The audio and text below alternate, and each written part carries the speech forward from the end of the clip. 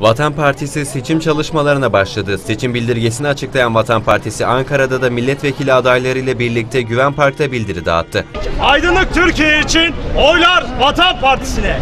Milletvekili adayları bildiri dağıtırken Ankaralılarla sohbet etme imkanı da buldu.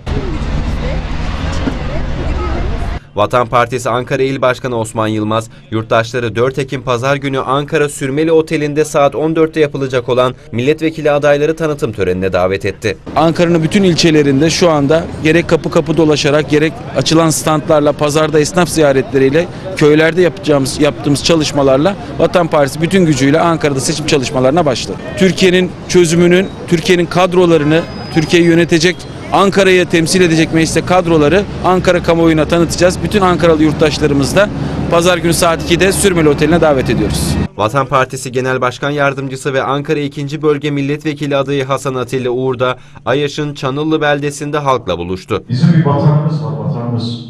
Uğur, Çanıllılı seçmenlerden oy istedi. Bütünlüklü bir vatanın içinde yaşamak zorundayız. Öbür türlü olmaz.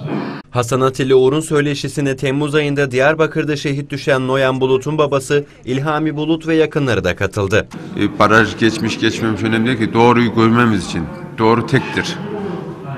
Türkiye'mize böyle Vatan Partisi gibi insanların olması gerektiğine inandığımız için.